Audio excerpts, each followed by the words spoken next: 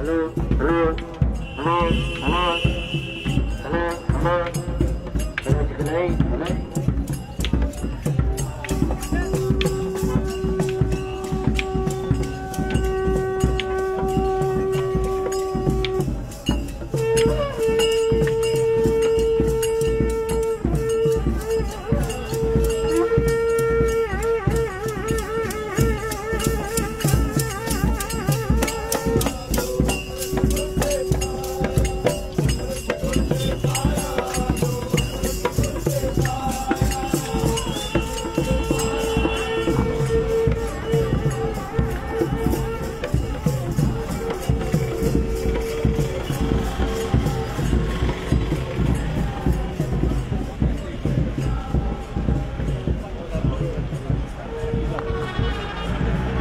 ਜੀ ਬ੍ਰਦਰ ਸਤਿ ਸ਼੍ਰੀ ਅਕਾਲ ਜੀ ਸਾਰੇ ਹੀ ਜਿੰਨੇ ਵੀ ਦੇਖ ਰਹੇ ਆ ਸਭ ਨੂੰ ਪਹਿਲਾਂ ਤਾਂ ਵਾਹਿਗੁਰੂ ਜੀ ਕਾ ਖਾਲਸਾ ਵਾਹਿਗੁਰੂ ਜੀ ਕੀ ਫਤਿਹ।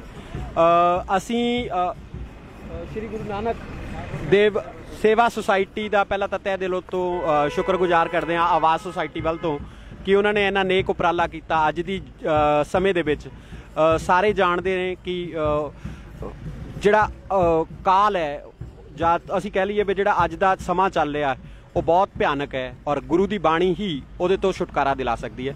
ਸੋ ਆਵਾਜ਼ ਸੁਸਾਇਟੀ ਵੱਲ ਤੋਂ ਅਸੀਂ ਸਾਰੇ ਹੀ, ਜਿੰਨੇ ਵੀ ਔਰ ਸਮਾਜ ਵੱਲ ਤੋਂ ਵੀ ਅਸੀਂ ਜਿੰਨੀ ਇਸ ਗੱਲ ਦੀ ਸ਼ਲਾਘਾ ਕਰ ਸਕੀਏ ਕਿ ਬਾਣੀ ਨਾਲ ਜੋੜਨਾ, ਬਾਣੀ ਸੁਣਨਾ ਤਾਂ ਕਿ ਸਾਡੇ ਸਭ ਦੇ ਮਨ ਬਦ- ਬਦਲਣ ਤੇ ਅਸੀਂ ਚੰਗੇ ਰਸਤੇ ਪਈਏ। ਵਾਹਿਗੁਰੂ ਜੀ ਕਾ ਖਾਲਸਾ, ਵਾਹਿਗੁਰੂ ਜੀ ਕੀ ਫਤਿਹ।